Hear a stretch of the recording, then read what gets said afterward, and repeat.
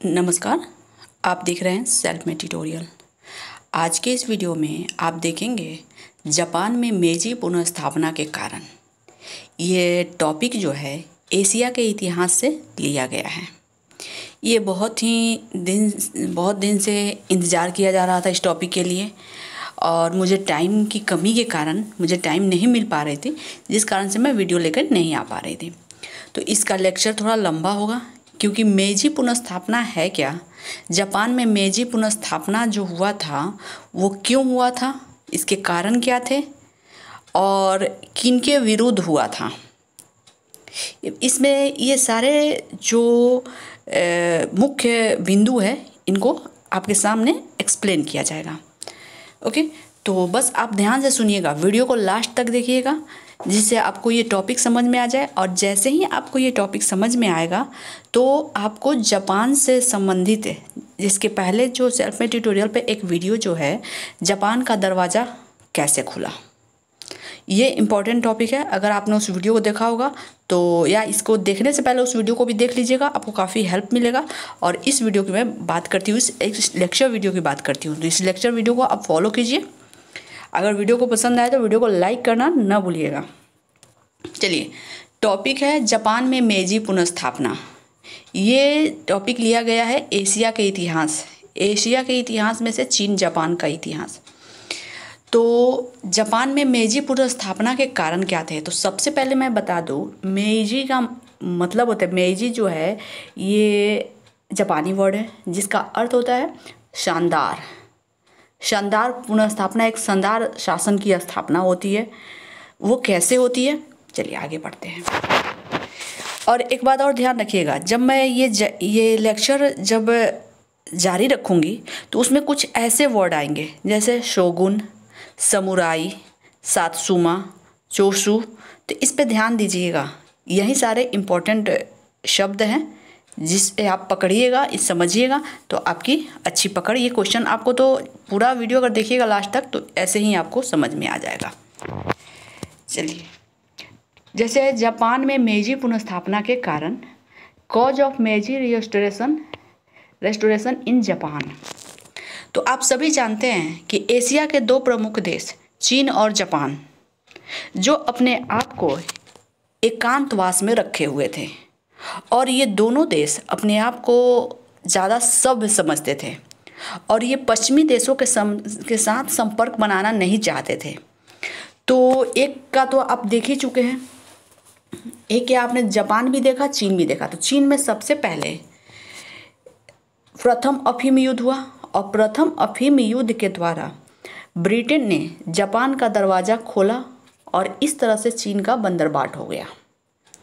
तो वही बातें जापान पर भी आती है और जापान में भी, जापान का दरवाज़ा किसने खोला? तो ये भी आप जानते हैं वीडियो अपलोड हो चुका है, अमेरिका ने खोला। वो कैसे खोला, वो उस वीडियो में आप देख सकते हैं। तो चलिए स्टार्ट करते हैं। जैसे कि उन्नीसवीं शताब्दी उन्नीसवीं शताब्दी के मध्य में, उन्नीसवीं शताब्दी का मध्य यदि मैं कहूँ तो उन्नीसवीं शताब्दी स्टार्ट होती है, शुरू होती है अठारह सौ से। तो अठारह सौ उनचालीस ईस्वी में प्रथम अफीम युद्ध हुआ था बयालीस ईस्वी तक। तो इस तरह से उन्नीसवीं शताब्दी के मध्य में पूर्वी एशिया के दो देश चीन और जापान में प्रवेश हेतु पश्चिमी देशों द्वारा दबाव बनाया जा रहा था। जिस प्रकार अफीम के युद्ध ने चीन का द्वार विदेशियों के लिए खोल दिया।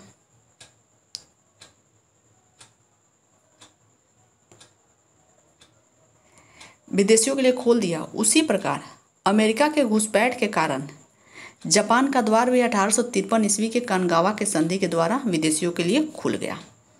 और अफीम युद्ध और उसके परिणाम स्वरूप नानकिन की संधि हुई थी और नानकिन की संधि के शर्तों के साथ ही चीन का दरवाज़ा विदेशियों के लिए खुल गया और कनगावा के संधि के साथ ही जापान का दरवाज़ा खुला। लेकिन दोनों में अंतर था। जापान का दरवाज़ा जापान चीन ने को आ, अपना शिकार बनाने के लिए ब्रिटेन को हमला करना पड़ा। आक्रमण हुआ और काफ़ी जान माल की क्षति हुई। क्षतिपूर्ति देनी पड़ी। लेकिन कनगवा की संधि, यानी अमेरिका ने जो किया तो उसके साथ जो भी विद्रोह हुए, वो जापानियों ने बड़ी सूझबूझ के साथ उससे सुलझा लिया और उन्होंने ऐसे विचार कायम किया, ऐसे नीति लागू किया कि क्यों ना इस पश्चिमी देशों के से भागने से अच्छा है कि इनके साथ मिलकर इनके द्वारा इनकी जो नई तकनीकी है, इनका, इनकी जो आधुनिकीकरण है, उसको अपना कर जापान का आधुनिकीकरण किया जाए, जापान को आगे बढ़ाया जाए, जापान को विकसित किया जाए, सेना में सुधार किया जाए, सैनिक विकास किया जाए। तो यही नीति जापान ने अपनाया और इस तरह से जापान एशिया के देशों में नंबर वन बन गया। तो चलिए तो कनगावा के संधि द्वारा विदेशियों के लिए खुल गया। जापान का द्वार द्वार खुलने से जापान के शोगुन की बड़ी बदनामी हुई। शोगुन की बड़ी बदनामी हुई। अब आप ध्यान देख रहे होंगे शोगुन का मतलब क्या होता है। तो चलिए, इसमें मैं थोड़ा सा रुकूँगी।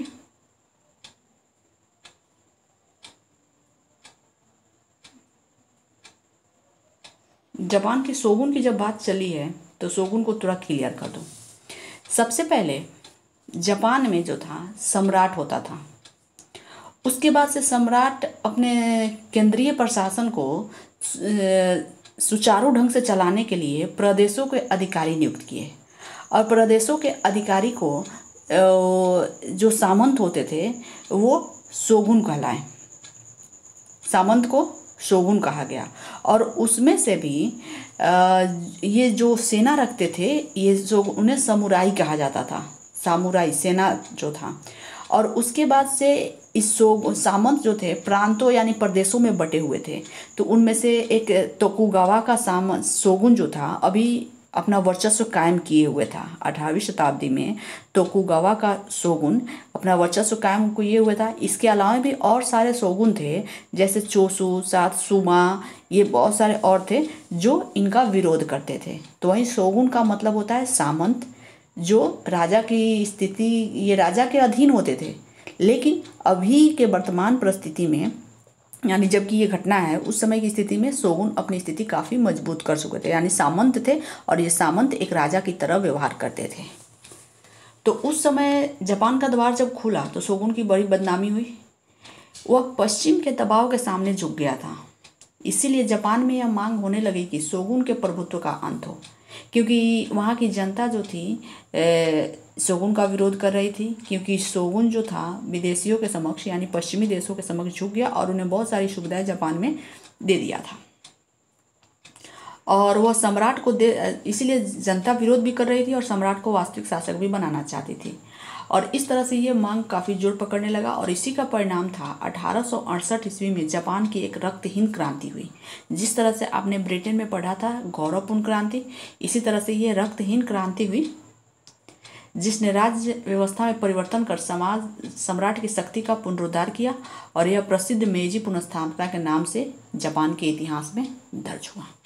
इसी घटना को जब सोगुन की शक्ति समाप्त होती है तो इसी घटना को मेजी पुनस्थापना कहा जाता है, यानी कि सम्राट का शासन स्थापित होता है। और मेजी पुनस्थापना होती है तो मेजी पुनस्थापना के पृष्ठभूमि में कहें, कौन से ऐसे कारण थे? तो उसकी चर्चा हम आगे करेंगे, ध्यान से देखिएगा। सबसे पहले, मेजी पुनस्थापना के प्रमुख कारण। मेजी पुनस्थापना के प्रमुख कारण में सबसे पहला आता है तत्कालीन व्यवस्था के प्रति असंतोष। तत्कालीन व्यवस्था के प्रति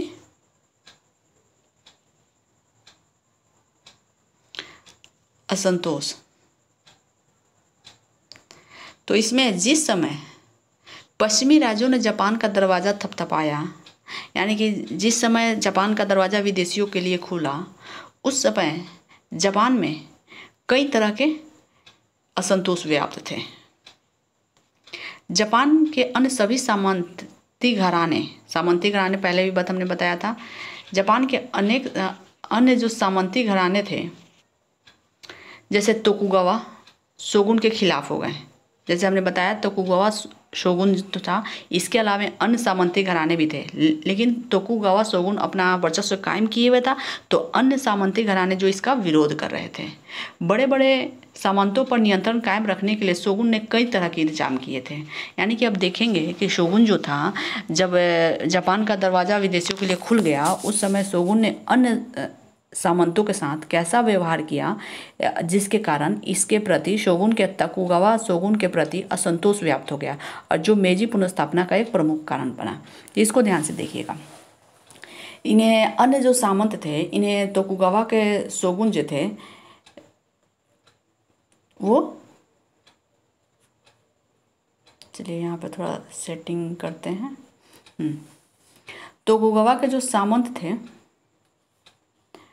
वो, उन वो अन्य सामंतों के आर्थिक शोषण करते थे। अब कैसे शोषण करते हैं? तो बड़े बड़े सामंतों पर अपना नियंत्रण कायम रखने के लिए शोगुन को कई तरह के इंतज़ाम किए थे जिससे उन्हें अपार कष्ट पहुँचता। सांकिन कोताई कानून सांकिन कोताई एक जापान की कानून है जिसके अनुसार सामंतों को किले बनाने उसकी मरम्मत करने लड़ाकू जहाज़ बनाने सिक्का डालने और शोगुन की इजाज़त के बिना शादी विवाह करने की मनाही थी। यानी कि सो सोगुन जो तोकुगावा का शोगुन था, अन्य सामंत इसकी इच्छा के विरुद्ध ये ऐसा कुछ भी नहीं कर सकते थे। और उन्हें हर दो साल पर चार महीने के लिए शोगुन की राजधानी यदो में हाजिर रहना पड़ता था। जब वे यदो से अपनी रियासत में वापस जाते, यदो उसकी राजधानी थी, जगह का नाम है यदो। जब अपने घर वो वापस जाते तो उन्हें बंधक के रूप में अपने बीवी बच्चों को वहीं पे छोड़ देना पड़ता था। और इससे हर सामंत को राजधानी में ही अप, अपना घर भर रखना पड़ता था जो आर्थिक दृष्टि से भार स्वरूप था।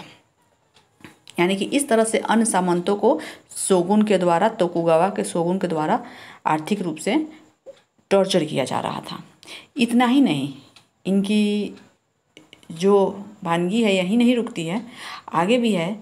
जैसे कि राज्य के ऊँचे ऊँचे पदों पर तोकुगावा परिवार के लोग की ही नियुक्ति होती थी। जैसे आप सभी जानते हैं कि तोकुगावा शोगुन जो शासन कर रहा था तो जो राज्य के ऊँचे ऊँचे पद होते थे, उनके परिवार के लोग ही नियुक्त होते थे। अन्य सामंतों को इनसे अलग रखा जाता। शोगुन की इस भेद नीति से, जैसे ये अन्य जो सामंत है, इसको देखिएगा यहाँ पे। चोसु सातसुमा और तोसा। कुटुंब के सामंत बड़े नाराज़ थे और यह मनमुटाव समय के साथ ही बढ़ता जा रहा था, जिसके कारण से शोगुन के प्रति उनका असंतोष बढ़ता गया। शोगुन शासन के अंतर्गत अन्य घरानों के सामंतों को आर्थिक दृष्टि से बड़ा दबाया गया, जिससे उनकी आर्थिक स्थिति दयनीय दिनों दिन खराब होती गई। उन्हें मजबूर होकर अपने खर्च में कटौती करनी पड़ी और समुराई सैनिकों को हटाना पड़ा। यानी कि ये समुराई एक सैनिकों का एक वर्ग ही था।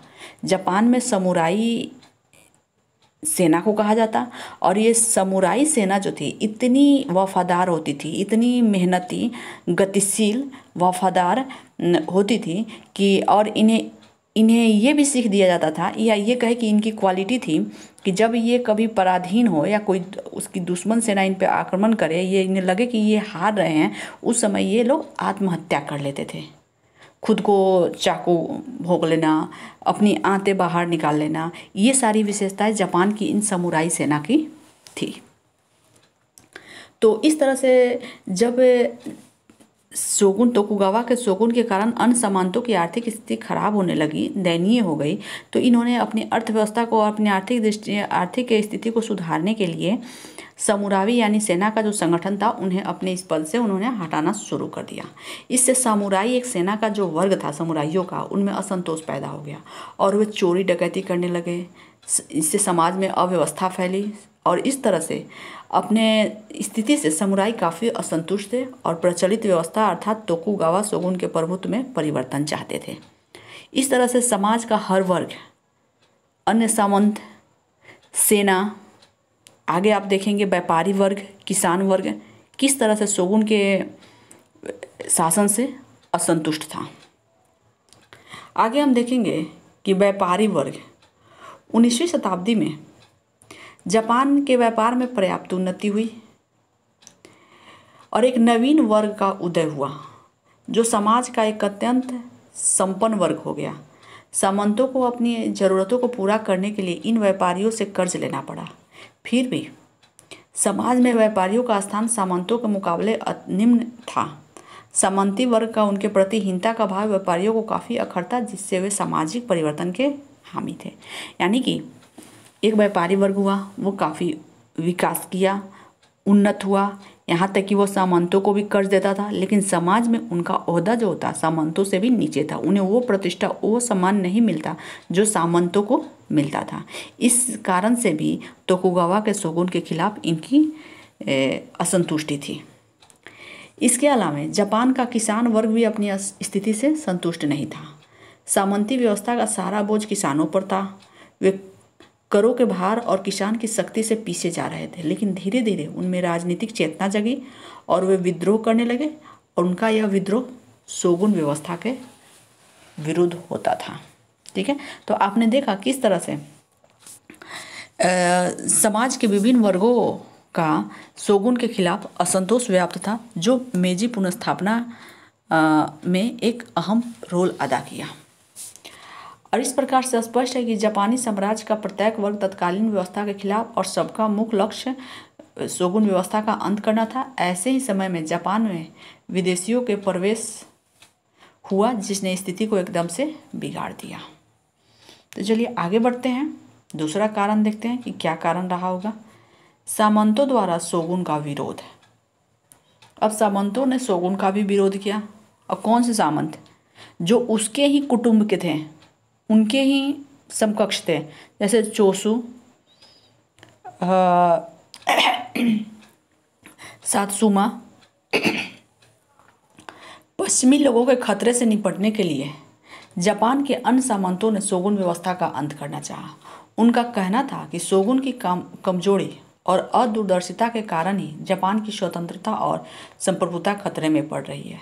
अतः उन्होंने सम्राट को अपनी गतिविधि का केंद्र बनाना पड़ा और उन्हें, उन्होंने बर्बर को निकालो शोगुन को हटाओ तथा सम्राट की शक्ति बढ़ाओ का नारा दिया।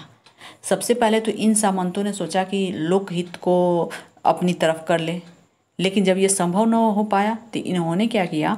सम्राट को अपने अपने विश्वास में लिया और उसने ये नारा दिया कि बर्बरों को हटाओ शोगुन को हटाओ और सम्राट की शक्ति बढ़ाओ।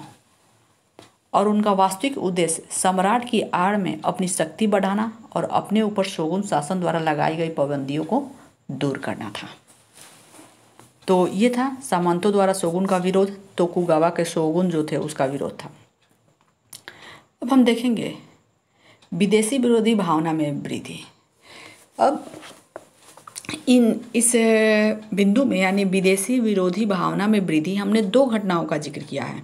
कि वो ऐसे कौन से कारण थे जिससे विदेशियों के विरुद्ध आम जनता के मन में काफ़ी असंतोष पैदा हो गया। वो घटना क्या थी? जो आपने परिस्थितियाँ देखी, जिस तरह से शोगुन इन पश्चिमी देशों के सामने असहाय था, वैसी परिस्थिति में जापान में विदेशियों के खिलाफ भावना तीव्र होती रही। आम जनता तो असंतुष्ट थी सामंतों ने इस विरोधी भावना को खूब भड़काया और सामंत जो अन्य सामंत थे, जो चाहते थे कि ये भावना जो है काफ़ी प्रबल हो। और इसी दृष्टि से सम्राट कोमोई, सम्राट उस समय जो सम्राट था वो कोम, कोमेई था। कोमेई जो था, वो विदेशियों के विरुद्ध हो गया।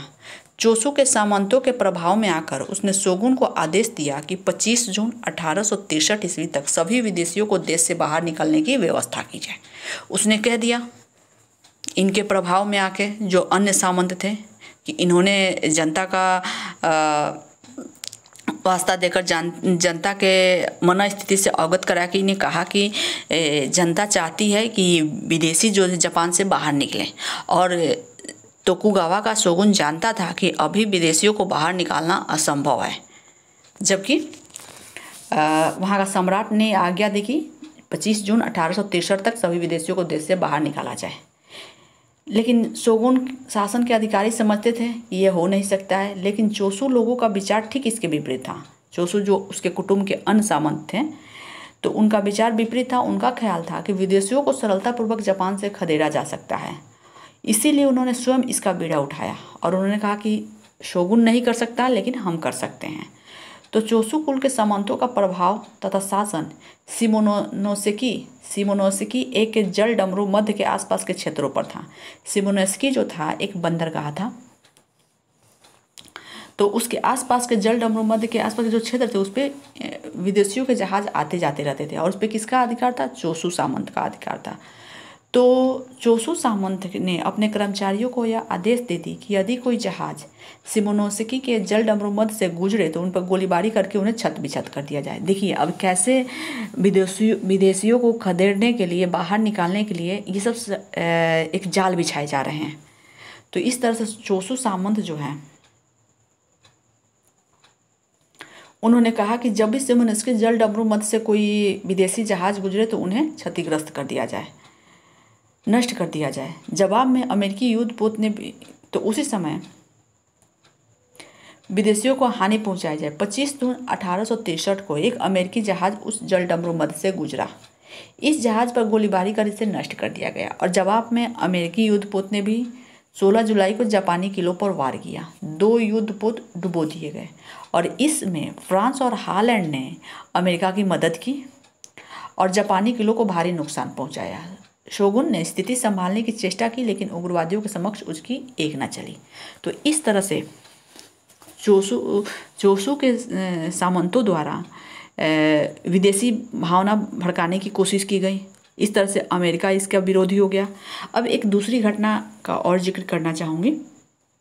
इस तरह से बहुत सारी ऐसी घटनाएँ हैं, लेकिन ये मुख्य घटनाएँ हैं, जिससे विदेशी विरोधी भावना जापान में काफ़ी प्रबल हो गई। चौदह सितंबर अठारह सौ बासठ को विरोधी एक विरोधी विदेशी विरोधी एक दूसरी घटना घट गई। उस दिन सातसुमा के सामंत का एक जुलूस निकला। जब सातसुमा के सामंत आपको पहले ही बचा बता चुके थे कि तोकुगावा के साम, सामंत जिसे सोगुन कहा गया वो शासन कर रहा था। इसके अलावा अन्य सामंत थे चोसू सातसुमा और कुछ और भी थे। तो वो तो उनका जुलूस निकला। जब जापान में यह रीति रिवाज प्रचलित था, एक नियम प्रचलित था कि जब भी किसी सामंत का जुलूस गुजरे तो वहाँ से जितने भी विदेशी हो या कोई भी हो तो उन्हें उनके सम्मान पूर्वक उन्हें उनका सम्मान देना पड़ता था। तो देखिए आगे घटना क्या होती है।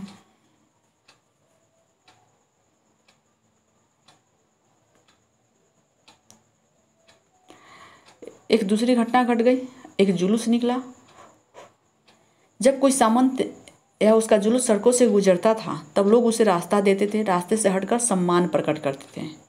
सातसुमा सामंत की यात्रा के समय रिचर्डसन नामक एक अंग्रेज़ अपनी तीन घुड़सवार साथियों के साथ जा रहा था। उसी समय एक घटना घटी कि जब ये जुलूस निकल रहा था सातसुमा सामंत का, उस समय रिचर्डसन नाम का एक अंग्रेज़ी, अंग्रेज़ अपने तीन घुड़सवार साथियों के साथ गुजर रहा था और यह जुलूस के सामने पड़ गया, लेकिन उसने सम्मान दिखलाने के लिए रास्ता नहीं छोड़ा। उसे सातसुमा सामंत ने अपने अपमान समझा। इस पर कुछ समुराई गुस्से में होकर उन पर बरस पड़े। अब ये इस चीज़ का अपमान था उस सामंत, सातसुमा सामंत का? तो इस तरह से समुराई यानी कि सेना गुस्से में होकर उन पर बरस पड़े और रिचर्डसन की हत्या कर दी। ब्रिटिश सरकार ने इसके लिए सोगुन से एक लाख पाउंड का हरजाना मांगा और सातसुमा को भी हरजाना देने को कहा। सात अंग्रेज़ी जहाज़ हरजाना वसूल करने के लिए सातसुमा की राजधानी कागोसीमा पहुँचे। उन्होंने नगर पर गोलीबारी की और एक जापानी जहाज़ डुबो दिया। इस घटना से जापान में विदेशियों के खिलाफ एक बड़ी घृणा पैदा हो गई। ओके? तो इस तरह से ये दो घटनाएँ एक अमेरिका घटना, अमेरिकी जहाज़ को कैसे गोलीबारी छत बिछत किया गया और ये एक सम्मान, जुलूस को सम्मान देने वाली घटना। ये दो घटनाएँ ऐसी घटी जिससे जापान में विदेशी विरोधी भावना भड़क उठी। तो ये भी मेजी पुनर्स्थापना का एक कारण बना। अब हम आगे देखते हैं। जोसु और सोगुन में संघर्ष। जोसु और सोगुन में संघर्ष भी मेजी पुनर्स्थापना का एक कारण था। चोसु और सातसुमा सामंतों को विदेशियों चोसु और सातसुमा सामंतों को विदेशियों के समक्ष नीचा देखना पड़ा था। अब वे अपनी कमज़ोरी महसूस करने लगे थे, यानी कि उस समय जब रिचर्डसन मारा गया था उस घटना के समय। इनकी स्थिति थोड़ी सी सेना कमज़ोर पड़ गई थी। तो उन्होंने सोचा कि अब सैनिक सुधार किया जाए। और चोसू समुराई तथा सामान्य जनता की मिली जुली स्थायी सेना संगठित की। अब इस चोसू ने पहले समुराई एक, ये भी एक वंशानुगत चला आ रहा था कि वहीं समुराई ही शासन कर रहे थे, उनका एक वर्ग बन गया था। लेकिन अब चोसू और सातसुमा के सामंतों ने एक नई सेना का संगठन करना सेना में सुधार करने की कोशिश की और उन्होंने समुराई और आम जनता को भी मिलाकर एक सेना का संगठन शुरू किया क्योंकि इस पर पह, सबसे पहले अधिकार पहले समुराई का ही होता था।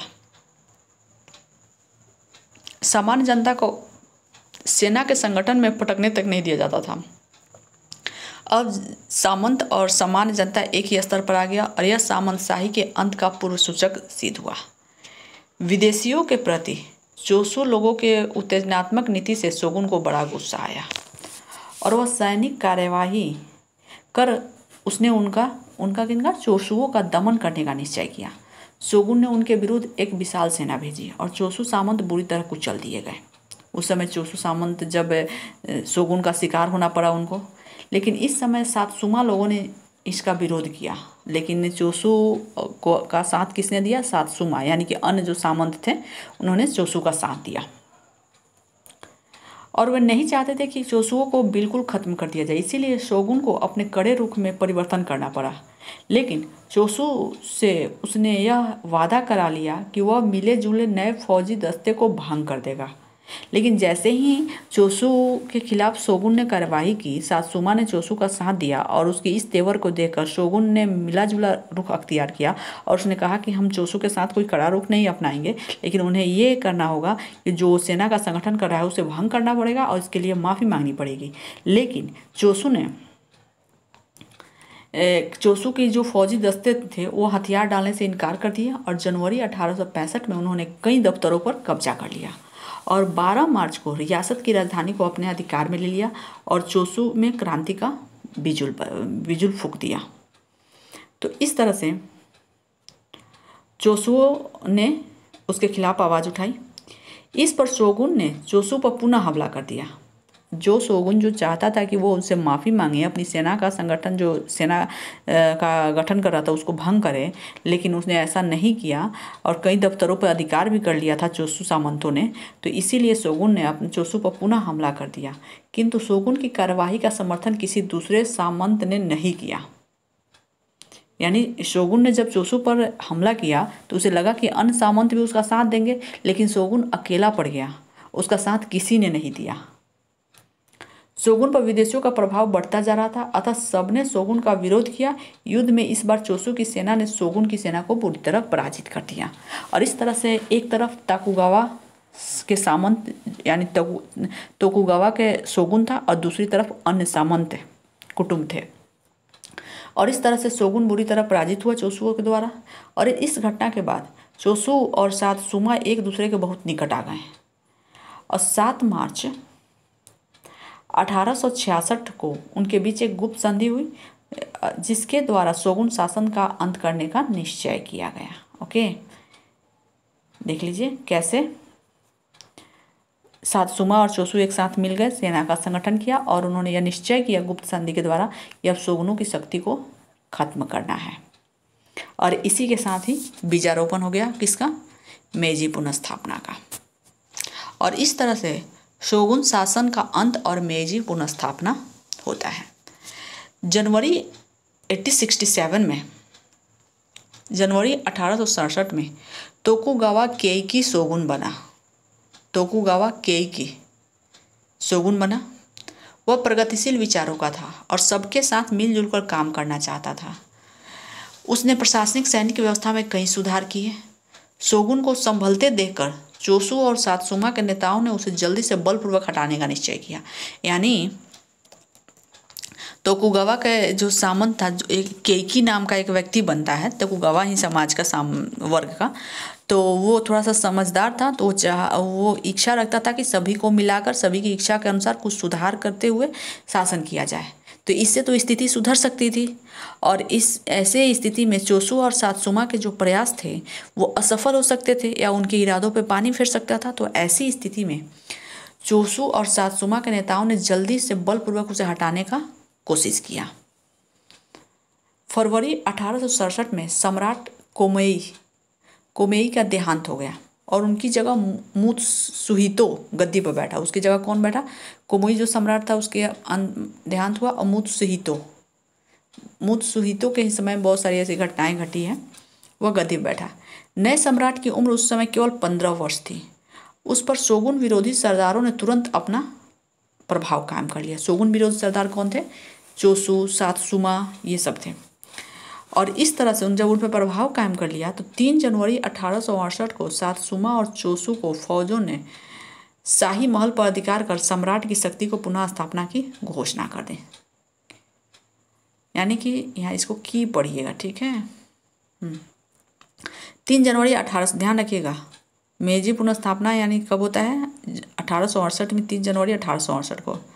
इस समय सातसुमा और चोसू के फौजों ने शाही महल पर अधिकार कर सम्राट की शक्ति को पुनः स्थापना की घोषणा कर दी। यानी कि सोगुन की जो शक्ति थी, वो समाप्त हो गई।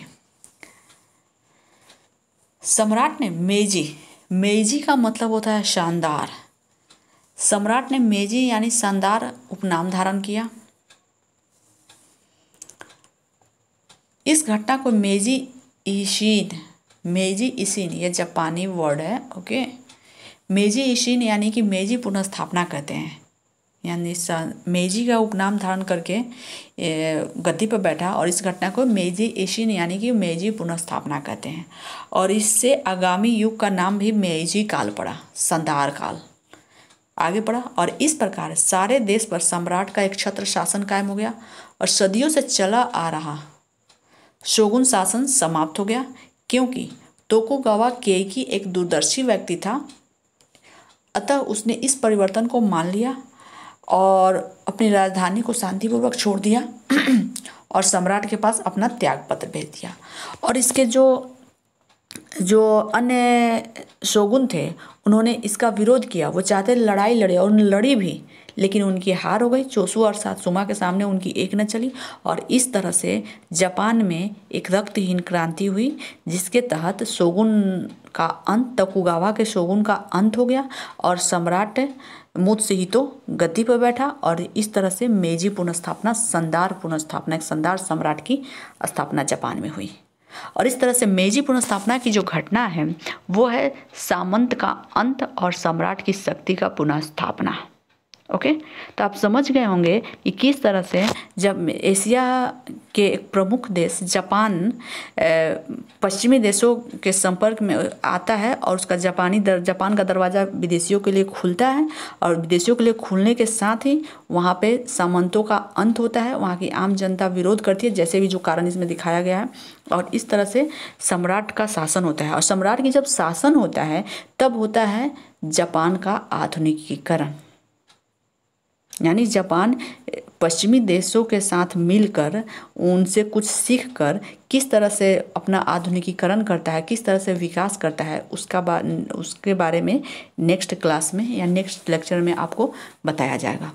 इसके पहले मैं ये भी बताना चाहूँगी मेजी पुनर्स्थापना तो हो गई और मेजी पुनर्स्थापना के बाद इनके शासन व्यवस्था को चलाने के लिए एक नया विधान कायम हुआ, एक नए संविधान हुआ। तो मेजी संविधान का निर्माण तो हुआ ही, लेकिन एक छोटा सा एक रूल लागू हुआ, एक नया विधान हुआ तो उसके बारे में हम एक टॉपिक लेकर आएँगे जिसमें होगा मेजी पुनर्स्थापना का महत्व इम्पोर्टेंस ऑफ़ मेजी पुनर्स्थापना। Okay okay? तो आप उस वीडियो को ज़रूर देखिएगा। यह वीडियो आपको कैसा लगा? वीडियो अच्छा लगा वीडियो को लाइक करना ना भूले और लाइक करें अपने दोस्तों के बीच ज़्यादा से ज़्यादा शेयर करें और साथ ही चैनल को सब्सक्राइब कर लें। क्योंकि चीन का जो भी वीडियो मैंने तो अपलोड कर दिया है, अब यह है जापान का और जापान के बाद सुदूर दक्षिण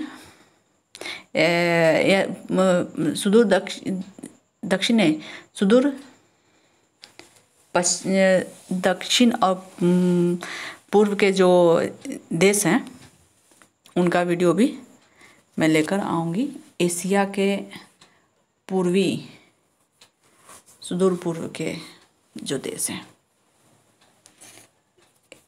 एशिया के सुदूर दक्षिणी पूर्व दक्षिणी पूर्व कहेंगे उसको, ओके? तो ठीक है, आप देखिए, समझिए। हम फिर मिलते हैं एक नए वीडियो के साथ। तब तक आप अपना ख्याल रखें, पढ़ें। धन्यवाद।